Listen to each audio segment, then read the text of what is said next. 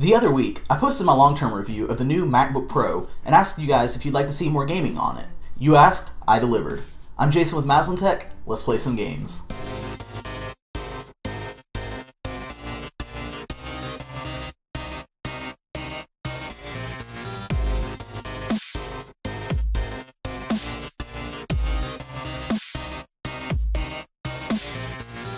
Before we look at the games, one quick note on controllers. With a dongle, DualShock 4 and the Xbox One S controller have worked beautifully in my use, but they work just as well over Bluetooth, and pairing is dead simple. I'm using my One S controller for these games, and noticed no input lag or hiccups playing wirelessly. Best of all, no adapters needed. So, let's get started with a game I'm terrible at, Overwatch.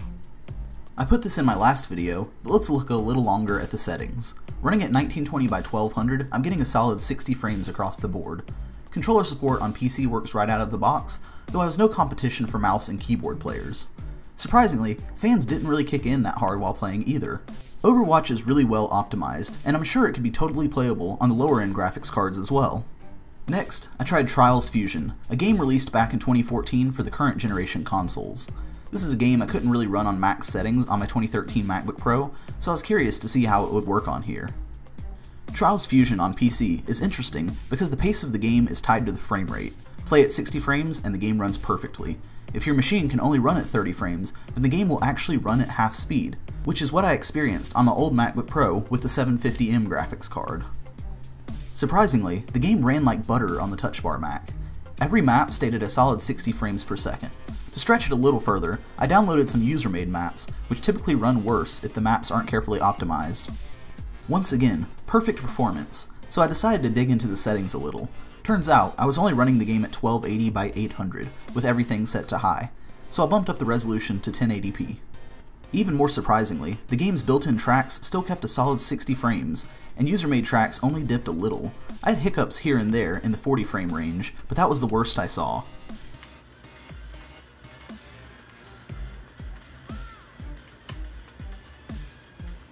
Next up, Rocket League is the game on this list I'm most familiar with. To hit 60 FPS across the board, with no drops on Wasteland, Aquadome, or in Rumble mode, I have the game set at 1680 by 1050 resolution, with everything on except motion blur and camera shake. When I turned up all the settings to max, with the resolution at 2880 by 1800 and anti-aliasing on high, the game ran in the low 30s on Aquadome, averaging 32 frames per second.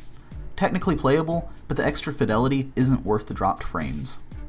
Oddly enough, running at 1080p, the game averaged about 35 frames, which is odd since 1050p runs at a locked 60. I'm personally not too big into AAA shooters or sports games, but I played a decent number of indie games. My two favorites last year were Salt and Sanctuary and Hyper Light Drifter. I was a Kickstarter backer of the latter game. Naturally, neither of these games are too demanding, but I felt they were both worth including for separate reasons. Salt and Sanctuary has the problem of being extremely dark in several areas, this makes it really hard to see on the MacBook Pro's screen. Some scenes on the screen were so black that I was seeing the reflection of my other monitor in a dark room. Hyper Light Drifter, on the other hand, looks amazing. I truly believe the best way to play this game is on a monitor with wide color support. The bright, neon color palette really shines on a display like this. I've played the game on a PS4 and my GTX 1070 rig, and this is by far the best I've seen the game look. Next, let's compare two games from two different console cycles, Dark Souls 2 and Dark Souls 3. Dark Souls 2, Scholar of the First Sin Edition, runs like butter.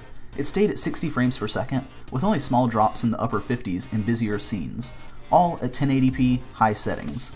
This isn't really a demanding game, but I'm still glad to see it run so well. Performance is on par with the PS4 version. Dark Souls 3, which was in my review video, was the most demanding game I ran on the Mac. Like I said in the last video, I've kept the game at 800p to get around 60 frames per second, but just for kicks, I played the same segment twice, once at 800p and once at 1080p. 1080p cuts the frame rate in half, making ripostes impossible- nope, wait, still got it.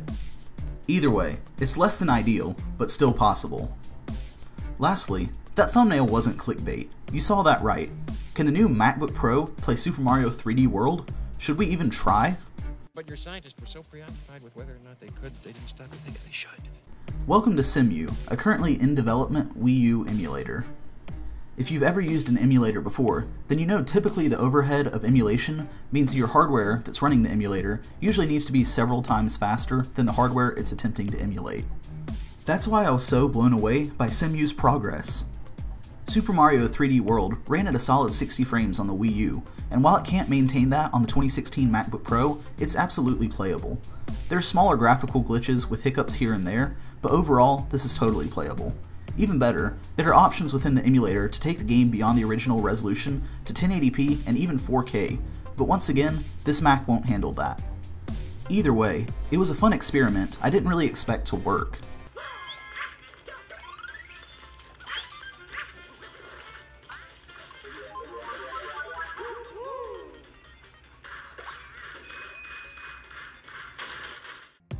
That's all for this video. I hope you enjoyed it. I was really impressed with the performance on my end, and with a few settings turned down, I believe this laptop will handle most games within this console generation you throw at it. In some cases, like Overwatch, it can outpace the console versions. Thanks for watching. Once again, I'm Jason with Maslin Tech. Like and subscribe if you enjoyed this, and I'll see you in the next one.